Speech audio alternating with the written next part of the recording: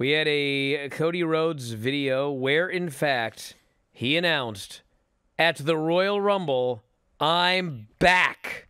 He's back. So uh, they are not doing the big surprise. I mean, they had started the countdown videos, and now they're telling you Well, they- he returns at the Royal Rumble. I thought they would announce the return next week, but I guess they just wanted to sink in.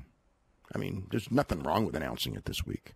Well, he's he's back, and apparently he's been training, and He was 240 the last time, you know, the last time I wrote about him.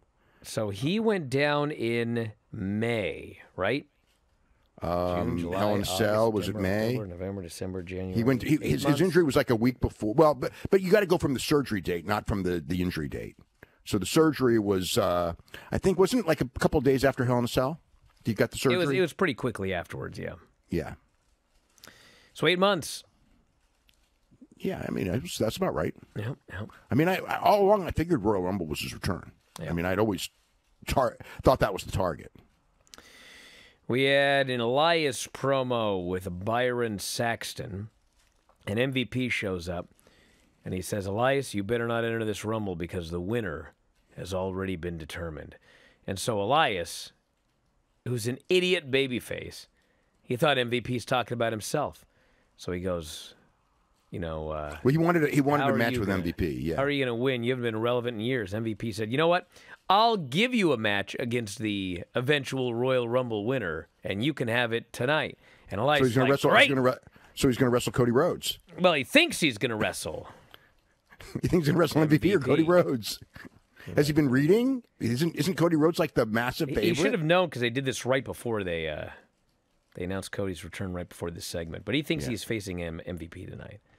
He was That would wrong. make him really stupid because I knew it was almost right, right, right away. Yeah, He should have like figured it out. Very dumb. But did you know that in January, WWE presents the Royal Rumble on the show will be what is being called a pitch black match. Why, you ask? Well, Mountain Dew apparently has a drink called Mountain Dew Pitch Black.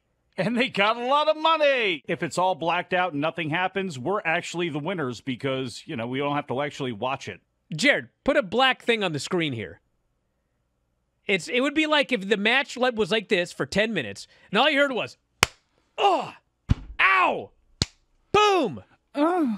no mike stop it if you enjoy these videos for just $7.99 per month you can enjoy full-length editions of the Bryan and Vinny Show, Wrestling Observer Live, Figure Four Daily with Tom Lawler and Lance Storm, the Mat Men Podcast, Speak Now Pro Wrestling with Denise Salcedo, and more, plus hundreds of archived shows, all in beautiful HD.